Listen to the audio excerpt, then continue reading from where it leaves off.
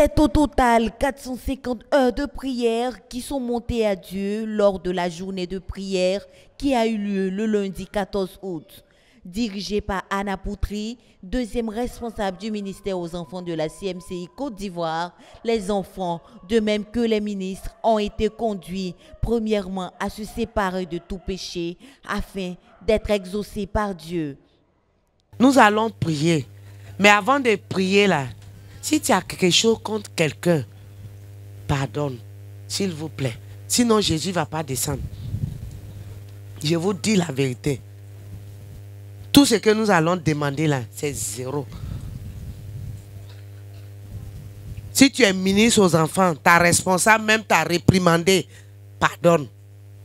Parce que nous formons une équipe.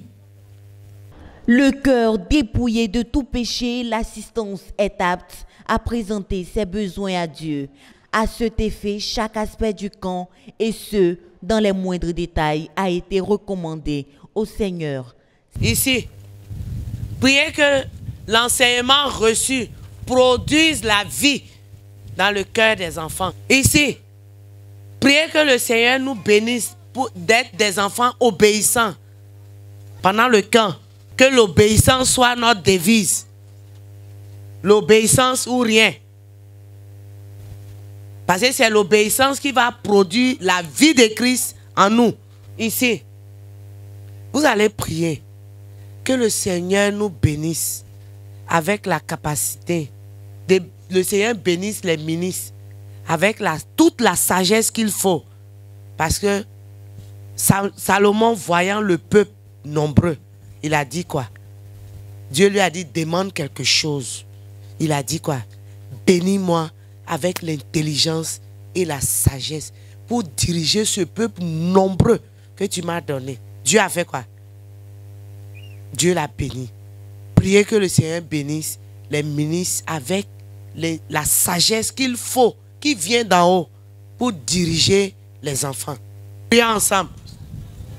Nous prions, Seigneur, que tu viennes avec nous nous prions, nous plaît.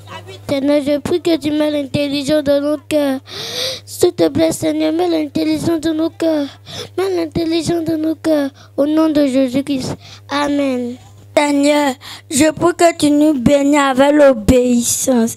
Au nom de Jésus-Christ. Amen. Sans moi, vous ne pouvez rien faire, a dit le Seigneur Jésus-Christ dans Jean 15, le verset 5.